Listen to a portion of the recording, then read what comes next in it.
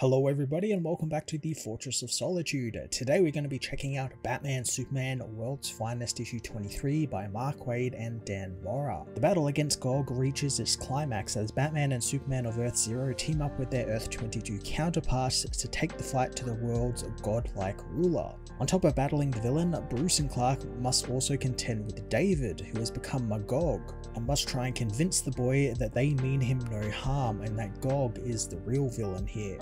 Considering Waid spent the last four issues, and even more than that with David's story several issues prior, the culmination here feels a little bit rushed. The entire issue was just this one big battle with Gog, and both sets of Batman and Superman talking in a roundabout dialogue that didn't really go anywhere for me. It just said a lot of the same things we've seen before in past issues over and over again until David turns good. We also don't really learn anything more about Gog's plan, and I was sure there was was going to be some sort of hidden part in the story, like he wasn't telling anyone that there was some sort of silver lining to his plan or something, but nope, he just wants to invade Apokolips, sacrifice Earth 22's heroes, and try and get his way back into his people's heaven. I did however like Waid's framing of Gog. A villain should fully believe in their plan and that they are right, and it's what makes a great villain. We've seen it countless times over and over, and Gog fully believes in his plan, and even views it as some sort of altruistic, heroic endeavor, frustrated that the actual heroes can't see that. That sort of stuff with the villain was really hard to come by these days as a lot of villains are very mustache twirling, very simple villains. And I wish Waid had explored that a little bit more with this since it made him a little bit more complex. And as we saw in his backstory where he actually didn't like fighting and didn't want his people to go to war, it really makes him different than what we usually see of Gog. And I would have loved to have seen more of that, but never really got there there. Dan Mora again does some really cool and flashy action, filling the whole page with parts of the fight instead of containing it with little panels within the page. Last issue I was quite worried about how he was going to differentiate himself between two characters, specifically the two Supermen since now they both wear the same costume, and Dan pulled it off really well,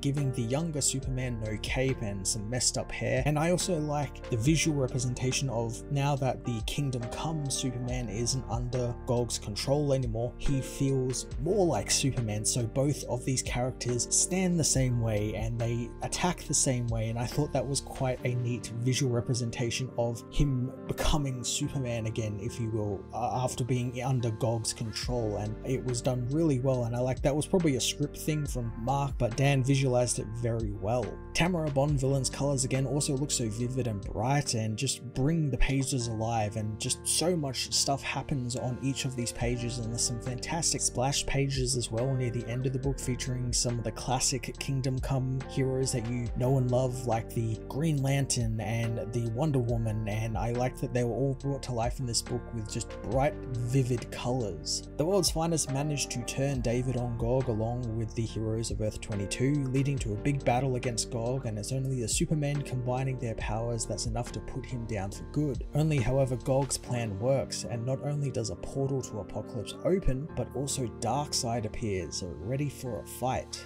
I'm looking forward to seeing how Waid handles Darkseid here, since the original Kingdom Come universe actually had a Darkseid, and it wasn't the Darkseid we know, it was actually Orion, taken over from his surrogate father, because of course Kingdom Come was all about generational heroes and legacy heroes, and of course Darkseid would become Orion, Orion would become Darkseid. I also have to wonder too if this book will honour the stuff that Joshua Williamson set up through Infinite Frontier, Dark Crisis, and all the stuff he's been doing since he took over as sort of the architect of DC canon at the moment. And that is that Darkseid is one being throughout the multiverse. He he understands that there are other versions of him out there, but they're technically the same person. It's a very Grant Morrison idea because again, it's something that came from Grant Morrison and Williamson brought that back and built on it. So I'm intrigued to see if Waid is going to go that route and this is going to be the Darkseid that the Earth Zero Superman has fought before. And he even looks like the classic Darkseid. He has that classic Darkseid look to him. So I wouldn't put it past him to do that. Uh, I'm very intrigued to see what he will do and if he'll build off of what he did originally in Kingdom Come with what he did, even though that wasn't really all that much to do with Darkseid in the original Kingdom Come with Orion and all that. It was just kind of like throwaway stuff. So he could build on that or he could take what William Williamson is doing and kind of run with it and kind of bring it all together in, in the one canon, which I think would be pretty cool.